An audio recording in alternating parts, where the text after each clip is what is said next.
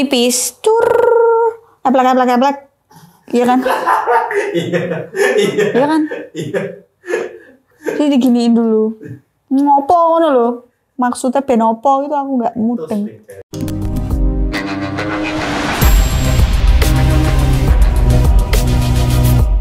Welcome back to the channel of Adalah Wulandari. Jadi gini mbak, karena mayoritas penontonnya mbak ini adalah cowok-cowok, Mm-mm. mereka minta mbak bahas soal pisang-pisang. Spesifik kali ini kita akan bahas soal sunat dengan enggak. Silakan mbak. Kita akan bahas perbedaannya dulu. Ya kan? Kalau sunat dan enggak tuh bedanya apa sih, Mbak? Gitu kan. Ini kayak gampang banget nih. Ada yang lebih sulit nih pertanyaannya. Setiap konten tuh aku selalu kayak dikejutkan dengan, yuk Mbak syuting ya duduk, nggak tahu mau syuting apa, tiba-tiba ada pertanyaan.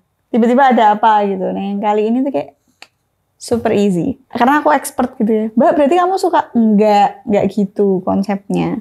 Tapi gini, kalian itu kan pasti, apalagi yang cowok, yang cowok lebih tahu lah ya. Kalau cewek tahu tuh karena mungkin udah jadi ibu-ibu, tahu kan anaknya sebelum disunat sama sudah disunat. Karena aku belum jadi ibu, aku kan ngurusin ponaanku, terus aku udah punya suami, yang alhamdulillah Marcel tuh sunat gitu kan. Bagus tuh dokternya Marcel. Bentuknya bagus. yang pertama, terlihat dari wujudnya, bentuk fisiknya. Jadi bentuk Fisik bisa. aku harus pada alat peraga. Ini contoh aja ya guys. Ibaratkan ini barang kalian. Nah ini nggak sunat nih. Kelihatan dari bentuk fisiknya yang pertama. Jadi bentuk fisiknya. Bukan fisik orangnya ya, tapi fisik barangnya. Mengerucut, belalai gajah. Kalau yang sudah disunat, diginiin tetap ada sisa kulitnya. Nggak mungkin dong manukmu dibotox, ya kan? Terus tiba-tiba nggak nggak bisa bergerak gitu, nggak mungkin, ya kan? Kalau kayak gitu kalian colinya otomatis pakai pelumas. Karena kalau nggak pakai pelumas, wah.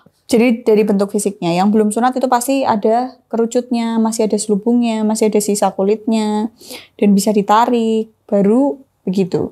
Dan ini kalau kalian kencing, setiap kencing, setiap mandi, habis berak, ini harus selalu dibersihin, dibuka gini. Gitu. Karena untuk menjaga kebersihan. Yang berikutnya adalah sensitivitasnya. Kenapa kok sensitivitasnya mbak? Kalau dinalar menurutku, kalau kalian sudah sunat, jadi sunat itu kan modelnya bukan iki mana wong ini terus ditel gitu enggak. Bukan, bukan ditebas gitu, bukan. Bukan guys. Tapi ini tuh kulitnya ditarik. Habis itu dibuang ini kulitnya. Nah, buangnya itu macam-macam tuh caranya. Kalau kulit kepalanya ini tidak diambil, tidak dibuang, tidak disunat, otomatis kan gedabel neng gini. Jadi kalau kena gesekan otomatis lebih tebel. Beda sama yang sudah disunat. Kalau kalian lihat pukon kalian, kan kulitnya jauh lebih tipis daripada yang di sebelah sini yang masih bisa digini-giniin. Ya kan? Nalarnya karena kulitnya lebih tipis jadi lebih berasa. Nalarnya begitu. Yang selanjutnya, kebersihan. Kalau yang sudah disunat, pipis, cur, eplek, eplek, eplek. Iya kan? Iya. Iya. Iya kan? Iya. Jadi diginiin dulu. Ngopo ngono lho. Maksudnya ben opo itu aku nggak mudeng. Pokoknya diginiin terus habis itu baru disiram. Tapi kalau udah sunat, itu kan disiram air udah selesai dilap. Tapi kalau belum sunat, kalian harus melekek dulu guys. Nah, buat yang belum sunat ini, kalau kalian setiap kencing nggak dibuka terus disiram dibersihin, nanti ada kejunya. Jorok. Cewek-cewek juga harus paham itu. Ini namanya bolot, kotoran. Harus dibersihin. Tuh, dari segi kebersihannya. Yang berikutnya dari segi kesehatan. Kenapa kok menurut dokter eh, sunat itu dianjurkan dari segi kesehatan? Karena yang pertama, nggak semua laki-laki itu aware dengan kebersihan itu tadi. Begitu. Pokoknya menghindari penyakit lah. Karena kan kalau udah dibuka, bersihinnya lebih gampang. Kalau masih ketutup itu kan kita harus buka-buka lah. Cowok tuh biasanya kan nggak telaten toh. Itu. Jadi perbedaannya tuh itu. Terus, buat yang di umur sekarang, Pira umurmu? Entah kalian di umur 20-an, 30-an, berapapun itu, kalian belum sunat. Metode sunat zaman sekarang itu sudah bagus. Kalau yang mungkin beberapa tahun lalu kan berkembang laser, tetap itu tuh di laser dikit-dikit gitu toh, terus jadinya langsung kering gitu loh. Tapi tetap ada perawatan pasca lukanya. Tapi ponakanku waktu itu sunat, habis disunat pakai laser itu udah langsung pakai celana langsung ngegame di tempat sunatnya. Jadi udah enak. Tapi kalau yang makin canggih sekarang bentuknya klep, jadi kayak cuman dijepit, didimin berapa hari ntar lepas. Jadi kayak sistemnya kayak ini loh, uh, udel bayi yang puput di klep gitu, terus nanti lepas sendiri. Oh iya. Zaman sekarang tuh udah canggih banget. Kalau zaman dulu kan kalau habis sunat itu kan tidur cuman dikasih ram nyamuk, iya kan biar nggak kesenggol dan ke angin-angin, jadi nggak katoan gitu kan. Zaman sekarang udah canggih guys. Jadi buat kalian yang umur 20 mungkin kalian mau sunat, tenang aja Zaman sekarang udah canggih, paling diguyu suster ya. Tapi zaman sekarang di kampungku itu masih ada sunatan massal loh. Kemarin aku share kan di grup ada sunatan massal sama bazar dan itu kalian nanti kalau ikut sunat massal itu pulang bawa jajan, pulang bawa duit, sunat. Kalau mau ya ntar aku share deh kalau tahun depan ada lagi aku share di story. Ikut.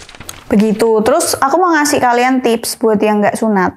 Karena mungkin ada beberapa kepercayaan yang menganggap tidak sunat itu lebih baik. It's okay kita harus menghormati itu. Tapi kalian juga harus memperhatikan kebersihannya. Jadi kalian benar-benar harus membersihkan. Kalau bisa sesering mungkin. Karena pertama apa?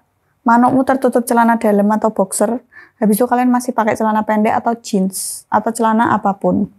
Yang mana itu pasti lembab, sumuk, berkeringat, boloten, dan sebagainya.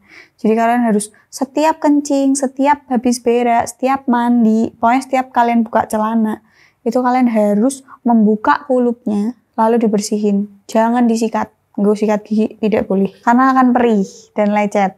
Jadi kalian harus membersihkannya itu pelan-pelan. Yang bersih pakai air mengalir. Kalau ada sabun boleh. Jadi sabun itu, kalau saya kan ada ya sabun untuk kewanitaan. Kalau kalian nggak usah, kalian sabun biasa aja nggak apa-apa. Cari yang lembut, nggak usah digosok terlalu keras, terlalu kencang nggak perlu. Yang penting dibersihin intinya sih itu. Ya udahlah pokoknya bersihinnya semuanya ya guys. Gak cuma pucukannya tok. Kata Mbak Adel harus dibersihin dibuka terus pucukannya tok enggak semuanya. Jangan ganti celana dalam tiga hari dua hari sekali seminggu sekali jangan. Amunin kok marah. Tikus gue wegah nyedak mesti oh iya terus kalau bersihin tuh gak cuman air sabun dah enggak tapi digosok kalau kalian kayak kalian mandi itu loh tapi nggak usah pakai shower puff, nggak usah pakai sikat, ya udah biasa aja gitu. Biar nggak lecet, betul. Jangan pakai sabun berlebihan. Jangan digosok terlalu keras karena iritasi. Kalau kalian bayangin nggak tempat yang tertutup, terlipat dan iritasi itu sembuhnya susah kalau kalian lecet di situ. Apalagi itu kelamin. Hmm. Jadi kalian tim yang mana? Tim sunat atau nggak sunat? Komen di bawah. See you next video. Bye.